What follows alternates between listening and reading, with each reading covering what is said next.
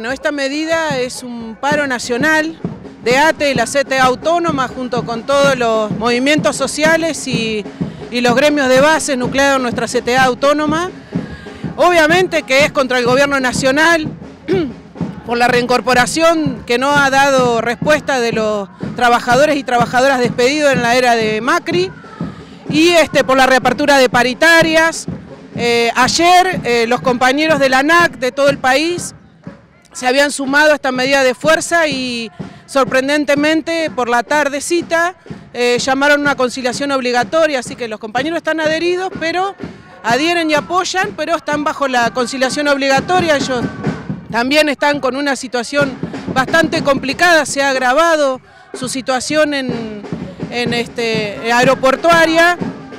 Y esto lo que ha producido justamente es que este, hagan eh, llamamiento a la medida de fuerza y se haya decretado la conciliación obligatoria.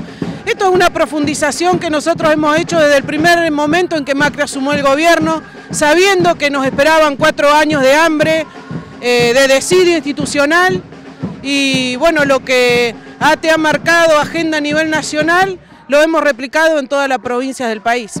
Nacional volvió a rechazar el pedido, no le dio lugar al pedido de emergencia alimentaria que estaban eh, llevando adelante distintas organizaciones sociales. ¿Qué pensás de eso?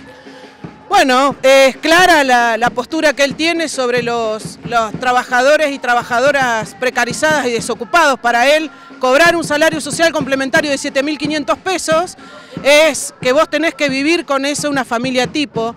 Eh, los cierres de las fábricas, la inversión este, en el petróleo que hace para afuera, para los grandes em, empresarios y la contaminación que nos deja, como ahora la firma de, esta, de este proyecto de que vamos a ser el basurero del mundo. Todo esto es lo que claramente deja el gobierno de Macri, es que no le importa el pueblo, no le importa la familia, la constitución este, que nos rige y sobre todas las cosas este, gobierna para un solo núcleo que son el empresarial y el que se ha llenado de dinero durante estos cuatro años.